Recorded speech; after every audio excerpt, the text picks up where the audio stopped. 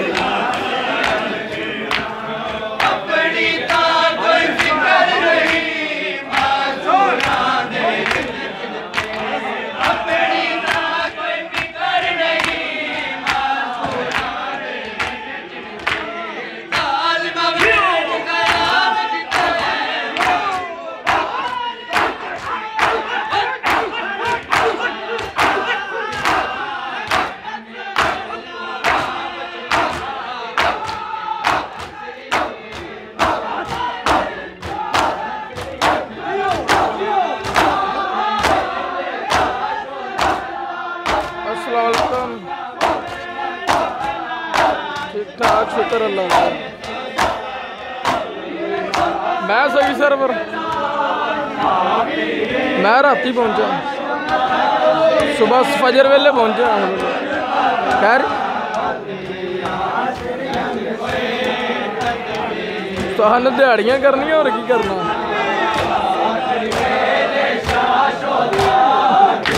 ਸਾਡੀ ਜਿਹੜਾ ਕੰਮ ਕਰਨ ਵਾਲਾ ਬੰਦਾ ਹੁੰਦਾ, ਉਹਦੀ ਆਕੜ ਅਲੱਗਾ ਹੀ ਹੁੰਦੀ ਹੈ ਨਾ ਰੋਲਾ ਤੇ ਇਸ ਗੱਲ ਦਾ। ਸਰਕਾਰ ਤੁਹਾਨੂੰ ਤੇ ਗਿਆ ਮੈਂ ਆਪ ਉਹਦੇ ਕੋਲੋਂ ਸਿੱਖਿਆ ਵਾ।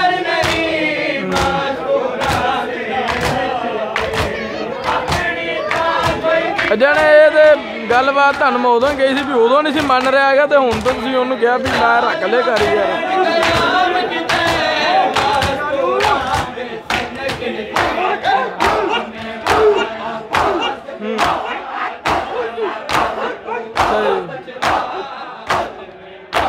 ਚਲੋ। ਠੀਕ ਹੋ ਗਿਆ ਜਨਾਬ। ਕਰਾਂਗੇ ਮੈਂ ਗੱਲ, ਇਥੋਂ ਮੇਲੇ ਤੋਂ ਵਾਪਸੀ ਆਇਆ ਮੈਂ।